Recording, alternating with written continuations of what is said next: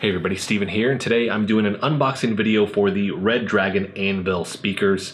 I got this off of Amazon for $35 and then they have a $3 off coupon, which means typically you may find other coupons down the road, so always look out for those. But this is my second rig, this isn't my main rig, so I wanted something that would fit what I need it for. I don't need a ton of sound down here. And then I didn't want to spend a ton of money. Like my main rig has the Logitech G5 60 speakers upstairs and with that i mean those were $200 so didn't want to actually spend a ton. I don't use this a ton but i do use it. So right now the main rig is upstairs in my bedroom and if my wife wants to go to bed early or something like that and I want to record, this is kind of my backup rig to do that. And so I am slowly kind of building it up. Hopefully when we get our next house, I'll have my own office so I won't have to actually worry about that as much. But with this, I actually have the MSI Ultra Wide here. So I wanted something that would also fit the aesthetics of that. And this actually does that with the Dragon there. Redragon is also the first mouse pad that I used when I built my first PC, I don't know, seven, eight years ago. So I thought it was fitting to actually go with them. Now this is 2.0 channel with this. It does have a 3.5 millimeter headphone jack. And then these are five watt speakers. So in the box, we got a sticker if you wanna do that. We got a setup manual here, and then these are the speakers. So this is going to be at the very end. You can either use the uh, USB or the auxiliary plug-in with that. I do like that option. There's a little bit more versatility. And then let's get these things all wrapped up. And then, like I said, we will do a sound test so you guys can kind of hear what these sound like. I don't expect them to be incredibly loud since they're just 5 watt speakers, which is comparable to what I've had on some of my monitors. Now, the reason I actually am getting these at all is because the MSI Ultra Wide here doesn't have speakers. And as much as I u- like using my Philips um, headphones right here because they're super comfortable, sometimes I just don't want to mess with that at all. So let's go ahead and get this uh, set up. This is the look right here. It has an inspection, quality inspection sticker on the back of it. And then does it even tell you which one is the left and which one is the right with this. Not seeing that anywhere. Although in the picture here, it's showing this one on the right and then this one on the left. But yeah, I'm not actually physically seeing that on these speakers. Has a little deal on the top. I guess you touch that for the lighting.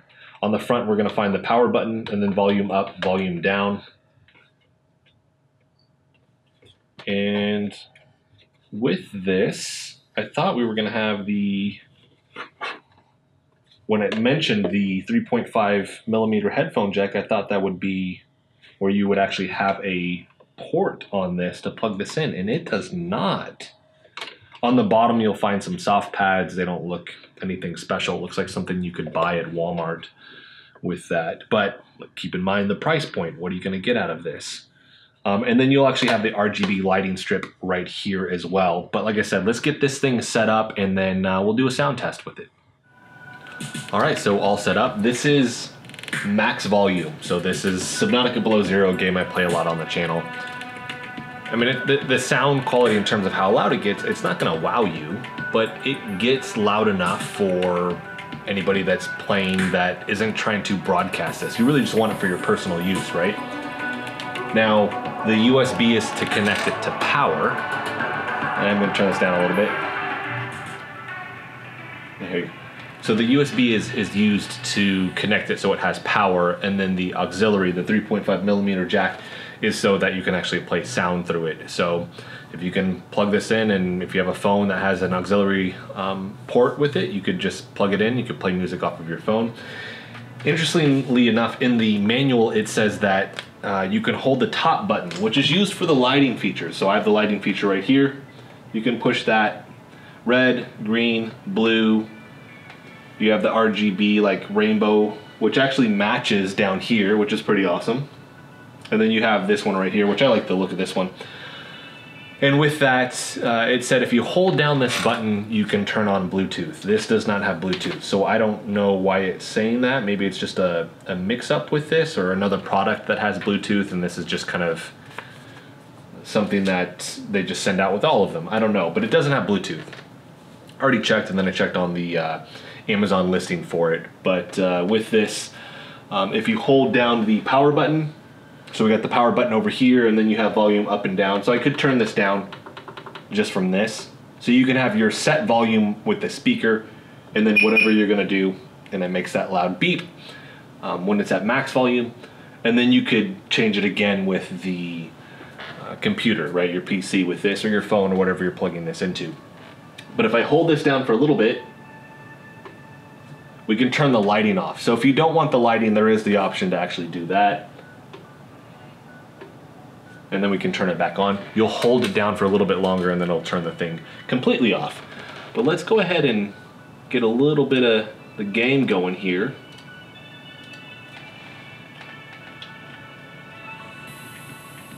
So this is 50% volume so you can hear that.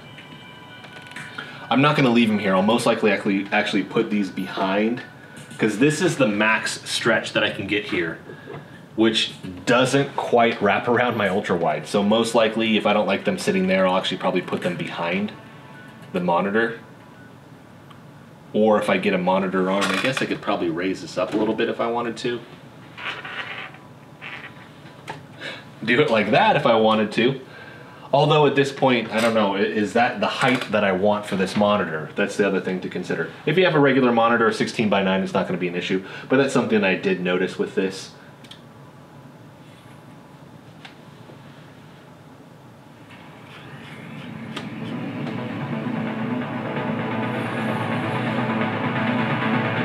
It's supposed to have the voice working. I don't know what's going on. That's why.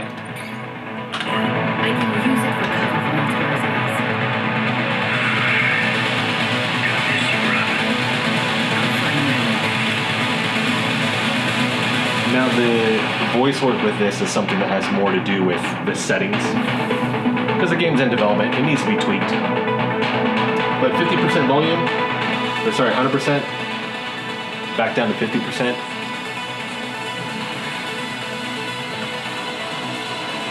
And let me tweak this one more time. So let's go music 50%.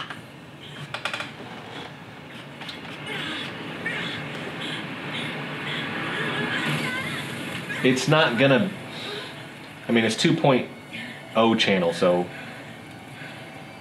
it's not 2.1. You don't have a uh, subwoofer with this, but for what I'm gonna do here, like I said, you're on a budget, you get some RGB lighting with it, I think this sounds pretty good. Like I said, it's exactly what I needed. I don't need more than this. Maybe down the road, and it's not to compete with my Logitech speakers. Welcome to 4546 speed. Enjoy your stay. 50% sounds pretty good with this. This is a comfortable volume that I would sit here and listen to this with. Or 100%, sorry. Once again, bumping the music all the way up. 100%, back down to 50. Like I said, I think 50 is where I'm probably to sit with this. This gives a good idea of music also. I don't want to play regular music on the channel because they're going to slap me with copyright stuff. So I think the aesthetics are, are, pretty solid. I wish the cord right here was a little bit longer. The cord for the auxiliary, the 3.5 millimeter jack in the uh, USB is long enough, right? It's, it's probably like four or five feet. Um, if you're needing something that's going to stretch out really far, it's not going to do that. Um, but color options are basic. Like I said, 35 bucks, you get the $3 off. Like for 30 bucks, looking at something that I might buy at Walmart for like 20 to 30, I'm to go with something like this. I like the lighting effect with it. I like the aesthetics with it. It fits very well with my rig, and it's not to break the bank. But uh, that's to be it for this one. Hopefully it gives you a better idea of the sound quality with these, um, and then the look, and then kind of what you get with it, and how you would set all of this up. So if you have an ultra wide, something to consider. It's not quite wide enough for that, so you're gonna have to raise this up, or you're gonna have to be in front of your monitor or behind it. If uh, if you have a 16 by 9, it's not gonna be an issue. Should have some music with this. That'll click in. There we go. So I think overall I am happy with this purchase for sure. So that's going to be it for this video. I am going to make sure that there is a link for this in the description so you guys can actually find this there. And uh, if you have any questions, maybe there's something I didn't cover with this video, let me know in the comment section. So that's going to be it for this one, everybody. If you liked the video, hit the like button for me. If you want to continue to follow along with all my content, hit the subscribe button for me. Thanks so much for watching.